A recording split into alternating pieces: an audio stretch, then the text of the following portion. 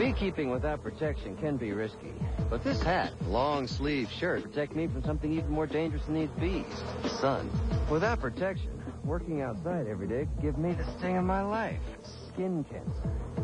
Every year, over 600,000 cases are diagnosed in America. Now, you don't have to go to these extremes.